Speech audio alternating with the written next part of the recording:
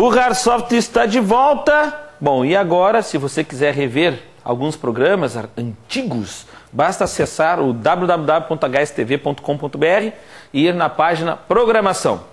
Lembrando que o, que o site do Hardsoft também tem notícias, agenda de eventos de TI e muito mais. Ayrton, o que você tem de dica aí para o pessoal de casa hoje? Bom, a dica de hoje é um programa chamado Wavosor para edição de áudio. O programa é bem leve, que roda sem instalação. Muito bom, vamos lá? A dica de hoje é sobre um software chamado Wavosor, um aplicativo pequeno, mas com grandes utilidades. Com ele podemos alterar as nossas músicas preferidas de uma forma simples e prática. O programa pode ser encontrado em sites para downloads ou na área de downloads do site do Hardsoft. Para abrir um arquivo de áudio, vamos acessar o menu File, opção Open. Então vamos aqui na nossa pasta de áudio, áudio 1. O programa ele é compatível com mais de 10 tipos de arquivos diferentes, incluindo o popular MP3 e o convencional Wave.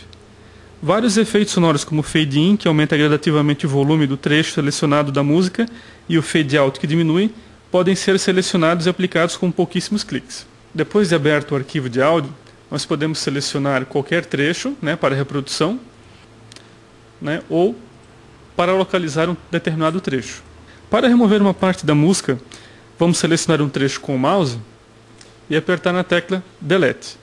Para selecionar parte de outro arquivo de áudio, Vamos abrir uma nova música, File, New, File, Open, Áudio 2. Então, temos aqui o nosso outro arquivo, vamos selecionar.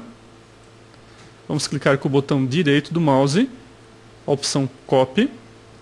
Voltamos ao nosso áudio 1, selecionamos a posição desejada, botão direito, Paste. Então aqui temos o trecho da outra música.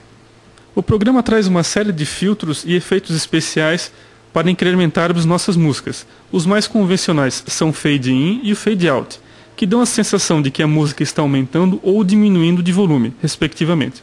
Para usá-los, selecionamos a parte da música que vamos alterar, vamos em Process e vamos na opção Fade in. Então vemos aqui que ele, que ele alterou a frequência e vai gradativamente aumentando. Outro filtro interessante é o Vocal Remover, que retira parcialmente a voz, deixando apenas os instrumentos. Para utilizar esse efeito, vamos selecionar aqui um outro trecho, vamos novamente em Process e vamos na opção Vocal Remover. Além do gráfico em 2D, o programa representa a música atual em 3D. Para ativar, basta clicar nesse botão aqui. Então, nós temos aqui a representação em 3D da música que pode ser manipulada. Podemos dar um zoom ou diminuir.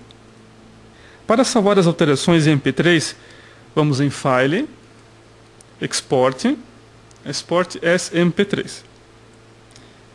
Vamos selecionar o bitrate, no mínimo 128, damos OK. Em seguida selecionamos o local que vamos salvar.